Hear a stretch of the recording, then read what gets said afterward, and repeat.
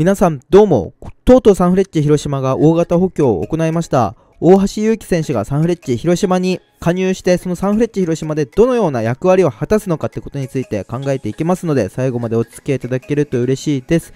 では早速やっていきましょう。えー、まずなんですけど、大橋選手のスタッツについて話していこうと思います。2023年シーズン、出場が23試合、先発が22試合、まあ、しっかりと先発をつかんだ上で、大橋選手はシーズンを戦っていました。え出場時間が1820分と、まあ、少し怪我がちなところっていうのは懸念点としてありますが、まあ、その分ゴールが13で、シュートが58本打ちつつ22.4%と、まあ、かなり高いレベルにあるストライカーだなと思います。で、アシストも3つある中で、しっかりとゴールに関わっていける。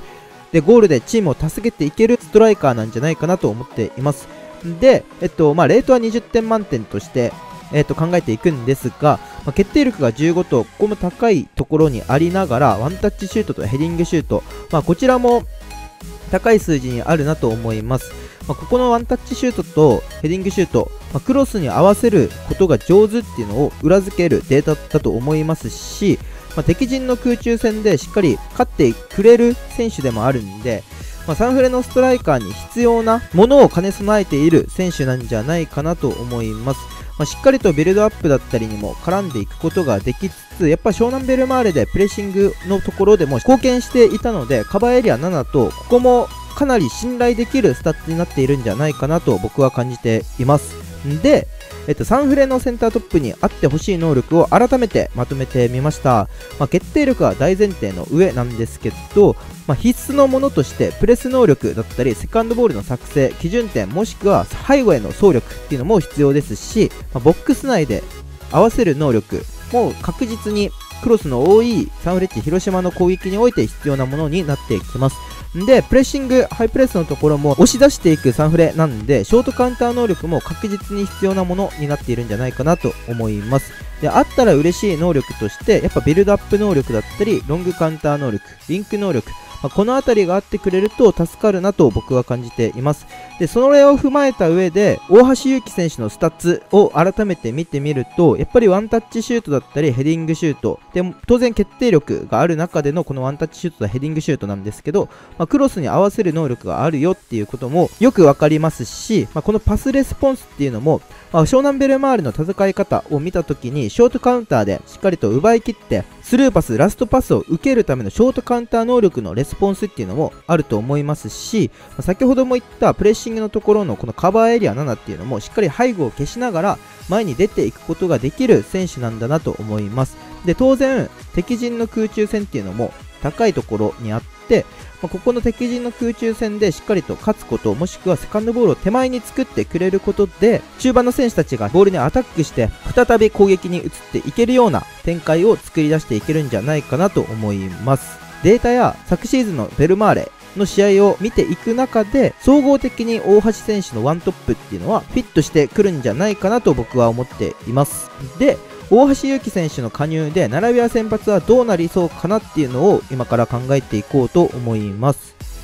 えー、まあまずなんですけど、この2024年シーズン、サンフレッチェ広島が今抱えている人材、選手がこちらになります。まあ、大橋選手がどこで使われるかはまだ定かではないんですけど、まあ、センタートップと考えたときに、センタートップはピエロス選手、大橋選手、ビエラ選手、ベンカリファー選手、まあ、4人いる中で、まあ、セカンドトップに加藤選手、エゼキエル選手、小原選手、三田選手、マルコス選手。で、左ウィングバックがこの東選手、七選手、柏選手。で、右ウィングバックが中野選手、小清水選手、茶島選手。で、ボランチが河村選手、野津田選手、細谷選手、青山選手。松本博也選手、松本大志選手、中島選手、で、センターバック、まあ、ここが少し薄いなと僕は感じるんですけど、佐々木選手、ヘンリー選手、荒木選手、山崎選手、塩谷選手、で、ゴールキーパーもしっかり、大迫選手、野中選手、川波選手、薄井選手と4枚揃えている状況です。で、ここの前の人数が多いっていうのは、やっぱりハイプレスを仕掛けていく中で、より消耗が多いポジションだから、このように前が多くなっているんだと僕は感じていますし、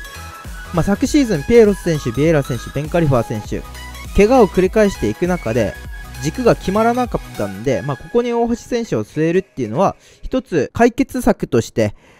いいものなんじゃないかなと思います。で、ACL がどうなるか分かりませんけど、ACL を戦う上でも、これだけのメンツが揃ったっていうのは、本当にいい傾向なんじゃないかなと僕は思います。で、ここからは大橋選手がどこで使われそうかってことについて考えていこうと思います。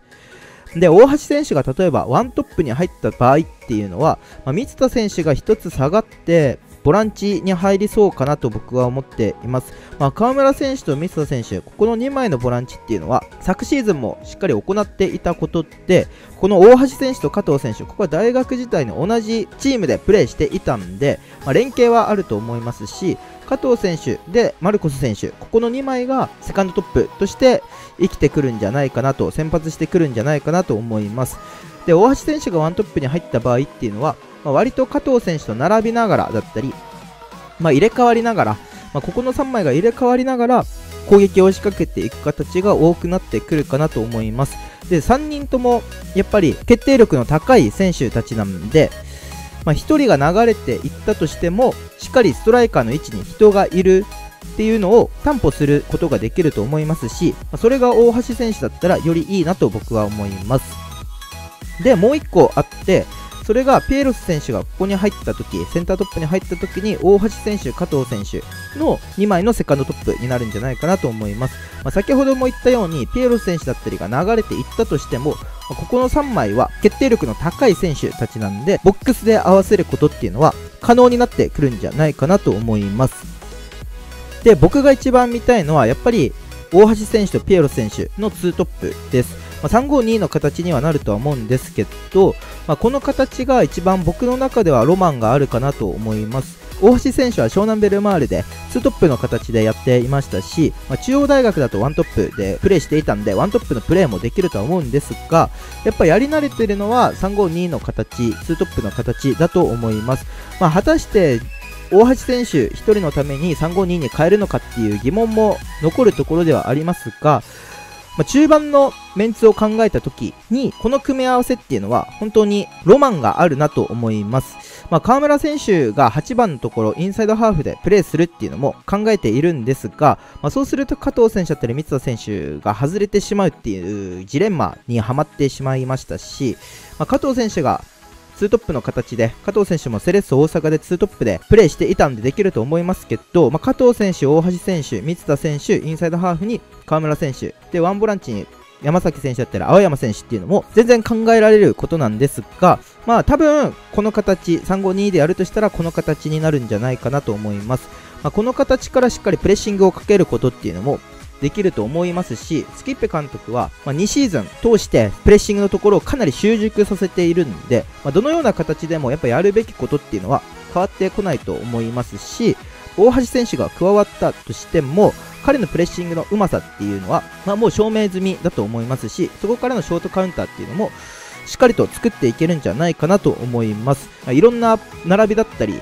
メンツだったり、組み合わせだったりができるような陣容になっていますし、新須田元年でより期待の持てる大型補強だったんじゃないかなと僕は感じています。で、大橋選手の加入でやっぱり得点力っていうところに期待したいですし、まあ、シーズン2桁ゴールを取っているっていう実績がある中で、サンフレッチェ広島の攻撃はクロスからの攻撃っていうのも多いんで、で、大橋選手のプレー集を見たときに、やっぱり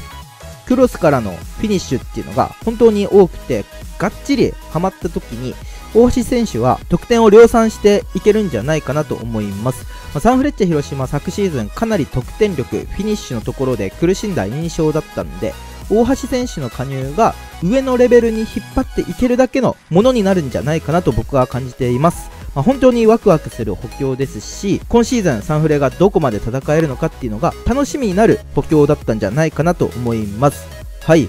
急いでちょっと動画を作って、感想をガーって述べたんで、少し足早になってしまいましたが、最後までご視聴ありがとうございました。チャンネル登録と高評価もしていただけると嬉しいです。ではまた次の動画でお会いしましょう。バイバーイ